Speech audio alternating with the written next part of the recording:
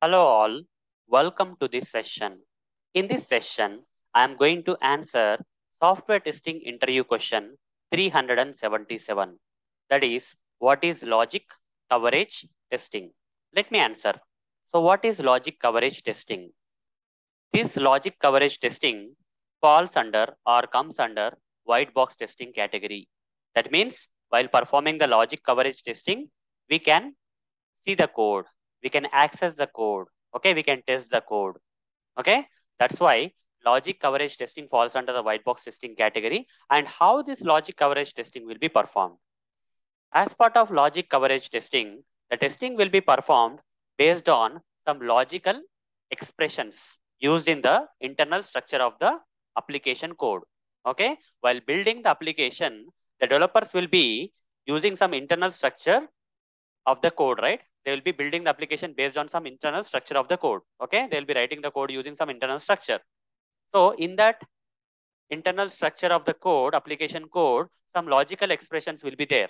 So as part of logic coverage testing, we'll be testing, okay, these logical expressions which are used by the developers while building the code based on this internal structure of the application. Okay. So I'll explain more about this logic uh, coverage testing. Okay. So here we are testing the logical expressions used in the internal structure of the application code. Okay. That is written by the developers. So here the result of this logic coverage testing is here coverage will be the testing coverage will be tested from the white box side. Okay. Coverage will be measured based on the amount of this logic coverage testing done that is one, one advantage of performing this logic coverage testing.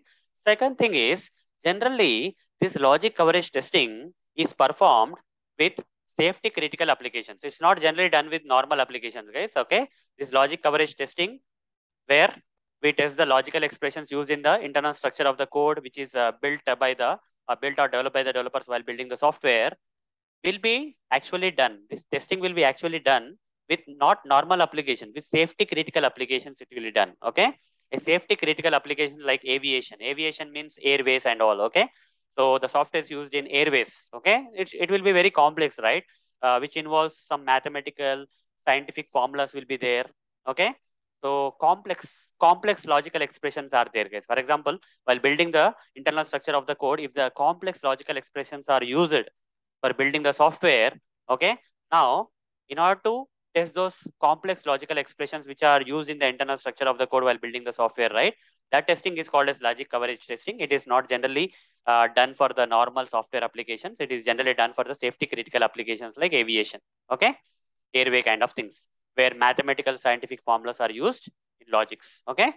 So hope guys understood what is logic coverage uh, testing in this session. So that's all for this session. In the next session, I'm going to answer another software testing interview question for you. Till then, see you. Bye-bye.